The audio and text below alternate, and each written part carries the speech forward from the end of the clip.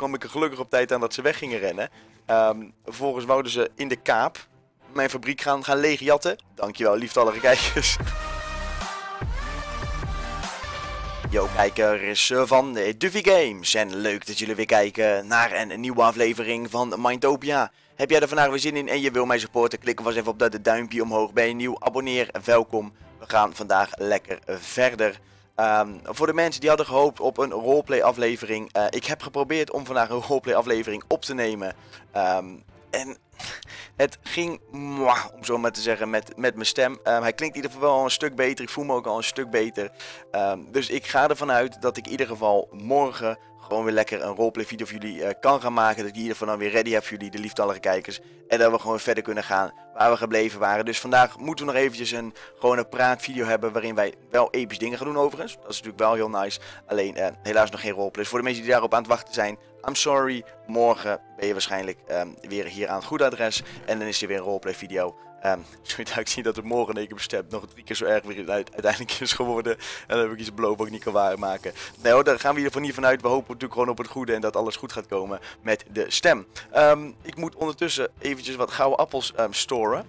nu hoor ik je denken van, hoe de fuck kom jij aan anderhalf stek gouden appels?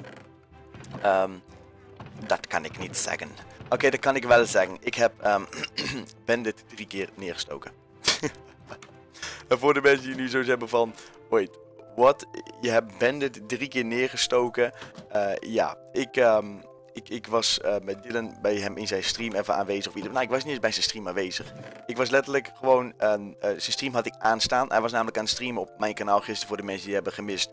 Um, ik zou zeggen, check die, um, check die stream ik ondertussen richting de kaap ga. Ik zou zeggen, check dus die, die stream eventjes.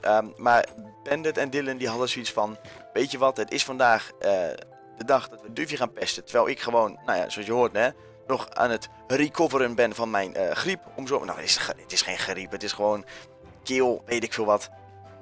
Um, en ze hadden zoiets van, weet je wat, wij gaan gewoon lekker Duffy pesten. Want chat zit ook een beetje op te hypen van, hé, hey, Duffy heeft een taser, ga die proberen te jatten, wat dan ook. Nou, ik had gelukkig die taser gewoon in mijn imp zitten.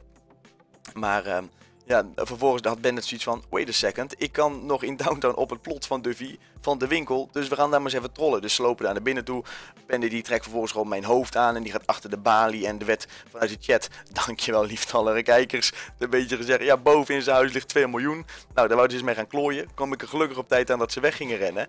Um, vervolgens wouden ze in de kaap mijn fabriek gaan, gaan leegjatten, dankjewel lieftallige kijkers. um, en toen vervolgens, toen, um, toen, toen uh, kwamen ze eindelijk weer terug in mijn topje. Want ik ging natuurlijk achter hen aan uh, met mijn vliegtuig allemaal. Um, en met messen allemaal. Want ik had zoiets van, jongens, Steve nou even net op. Zeg, blijf gewoon met je tengels van mijn spullen af. Nou ja, en toen vervolgens was het plan van hun om in mijn huis dus mijn deze te gaan jatten. Maar goed, die had ik gelukkig bij me.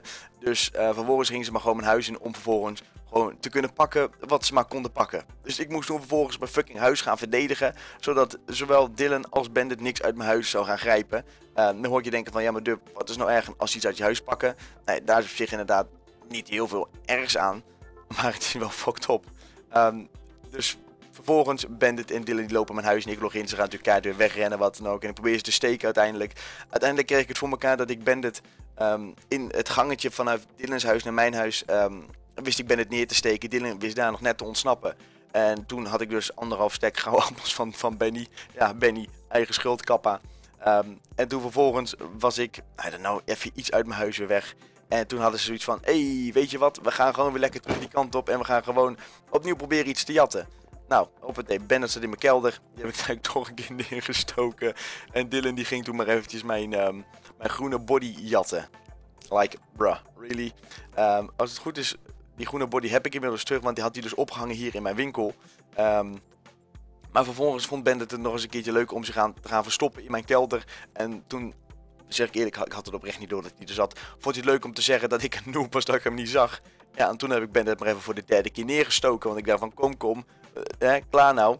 Heb ik ook gezegd van, ik waarschuw nu niet meer. Hè? En toen uiteindelijk is het rustig gebleven wat dat betreft. Maar ik heb gisteren zo over Bandit drie keer moeten neersteken. Um, om, om weer de, de, rust in orde te bewaren. Want uh, als het nu had gelegen, hadden ze mij gewoon uh, helemaal leeg geroofd. En hadden ze gewoon met deze gejat en weet ik wat allemaal. Maar ik was gewoon keer op keer gelukkig op tijd om, eh, om mijn property en mijn spulletjes te verdedigen, om zo maar te zeggen. Maar eh, ik moet zeggen, dat was een, eh, het, het was een, het was een helse strijd om die twee tegen te houden.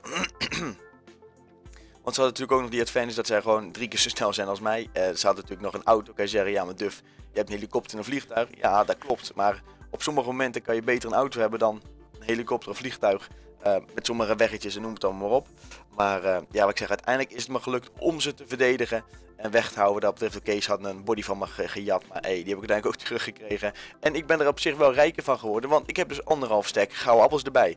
En ik kan je melden, nee, die gaat Bandit niet terugkrijgen. die zijn nou gewoon van mij. Dat is gewoon mijn, dat is gewoon mijn, mijn, dat is gewoon hun betaling aan mij, zeg maar. Dat ik gewoon spullen, dat ze gewoon mij, mij wouden, naaien gewoon. Hoppatee, dankjewel voor de free loot, om zo maar te zeggen. Ehm dus is het allemaal gebeurd in de kaap? Nee, het is gewoon in Mytopia gebeurd. Dus de politie? Nee, die waren er niet bij, die hebben niks gezien. Zo, laat dat even duidelijk zijn. Ehm, we zijn nu inmiddels eh, bij de kaap aangekomen bij mijn fabriek. Nu hoor ik je denken van, Duf, wat, wat doe jij hier überhaupt ehm, eh, in, in de fabriek hier allemaal? Eh, nou, dat is, dat is vrij simpel. Ehm, er is weer een nieuwe levering geweest. En normaal doe ik dit natuurlijk al in een livestream. Laat ik natuurlijk jullie de kijkers zien van, goh, raad maar wat het is allemaal. Maar ehm, vandaag gaan we het in een video doen. Want ik moet zeggen, het is wel fucking episch wat voor levering ik heb gekregen dit keer ehm, vanuit mijn fabriek. Prepare yourself mensen. 3, 2, 1, bam. Ja, jullie zien het goed. Vijf shirts. Nee, ehm, we hebben in ieder geval vijf shirts gekregen. eh, drie zwaarden en mensen. Gaskeeper poppetjes. Voor de mensen die zoiets hebben van, wait what, Gaskeeper poppetjes, Duffy, hoe de fuck kom jij eraan? Waarom heb jij die, et cetera, et cetera. Ehm, zal ik even uitleggen, terwijl ondertussen natuurlijk naar Downtown gaan, naar de winkel, om natuurlijk even daar veilig te stellen. Ehm, in de tijd dat natuurlijk mijn merchandise werd gemaakt door Bandit, ehm, is er ook een afspraak gekomen van, oké, eh, misschien is het ook leuk om Diller's poppetje in de game te brengen. En waarom? Nou ja, hè, toch behoorlijk wat mensen kennen Dylan wat dat allemaal. En natuurlijk ook veel van jullie kijkers vinden het ook wel leuk om een poppetje te hebben. En toen heb ik dus de rechten gekregen om dus zowel mijn eigen poppetje als Diller's poppetje als hè, mijn merchandise zeg maar, dat te verkopen. ik weet overigens niet of er al meer van die poppetjes in games zijn op een bepaalde manier. I don't freaking know.